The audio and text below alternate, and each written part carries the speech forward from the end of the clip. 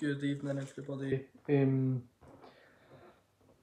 first and foremost, last night I read on Twitter and online and around pages, etc., that um,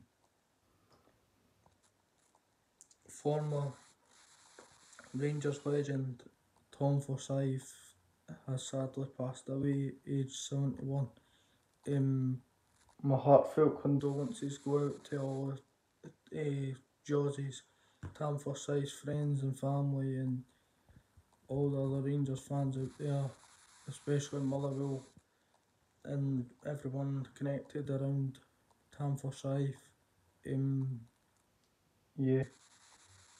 Um, obviously, I'm too young to remember and see Tam play football, but what I've read, what I read, and what I've written down from the online etc. is that he moved from he moved to Rangers from Motherwell in 1972 and played 326 ty- 326 appearances for the Light Blues.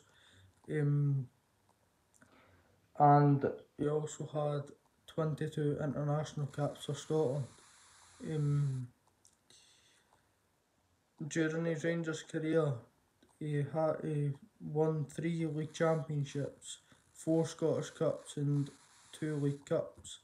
Um, so yeah, another another Rangers legend and another legend of Scottish football gone far too soon, and yeah, he's away up beside all the other legends of the Scottish game and legends to do with Rangers and Motherwell Football Club.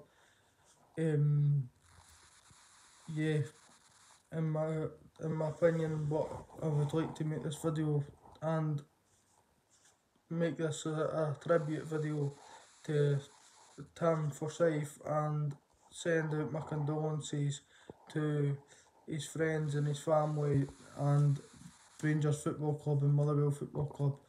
Um, so yeah.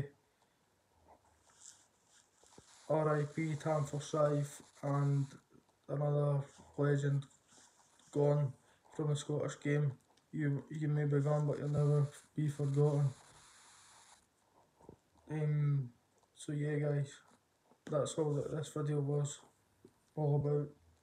R.I.P. for Forsyth, me being Connor, this been the Scottish Football Pundit Podcast, and I'm out.